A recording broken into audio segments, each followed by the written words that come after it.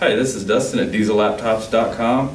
This first video is going to be the first in a series of training videos designed specifically for diesel technicians. In this first video, we're going to go over some basic electrical symbols and terminology that you should all know. The electrical systems on today's trucks can be a bit overwhelming. If you looked at an engine from, say, the 70s or 80s, they have hardly any wiring on. Newer trucks have more wiring than that just on the after treatment system alone. So learning these electrical systems is a huge part of being a technician. We have so many different types of electrical systems. You have to learn them to diagnose a truck. You have to learn them to be able to be more than just a parts change. And that's what we're going to go over in this series.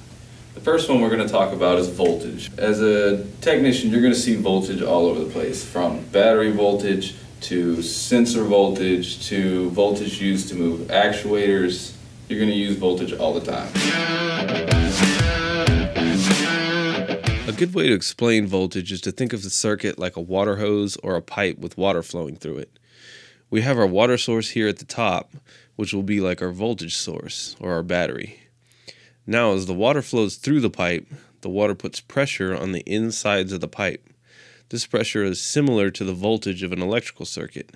The more we turn on the water, the higher the pressure is, which is like having a higher voltage through a circuit. So now imagine we have a water wheel on the end of our pipe, and it was designed to spin at say 100 RPM. If we were to turn down the water at the knob here, we have less pressure in the pipe, and less pressure pushing on the wheel, and it spins slower. This is similar to the electronics in your truck most electronics have to have a certain voltage going to it to even even operate. You always make sure you check battery voltage, make sure your cables and ground connections are always intact so that you're getting the correct voltage to your ECMs. The second thing we're going to see a lot as technicians is amps or amperage. What is amperage? Imagine again the water pipe analogy.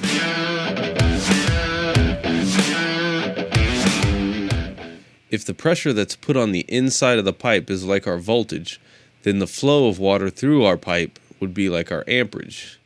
Amperage in a circuit is a measurement of the flow of electrons through the circuit.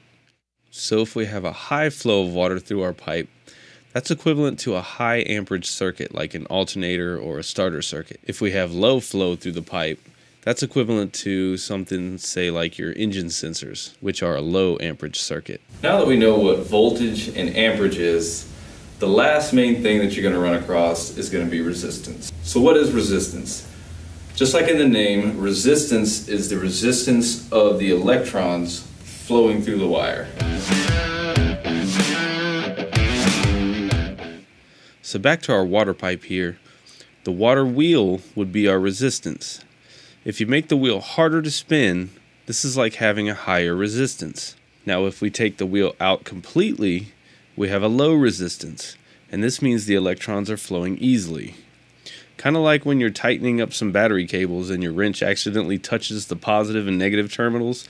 You know how you get that nice little spark? The reason this happens is because the wrench, like most metals, has very low resistance which allows a lot of amperage going through there. If you've got four truck batteries, you have a lot of amperage. So these are the three main symbols that you're going to see the most. This concludes our first training video. I hope you learned something. If not, we have some more advanced videos coming out soon. I hope you'll subscribe and see you soon.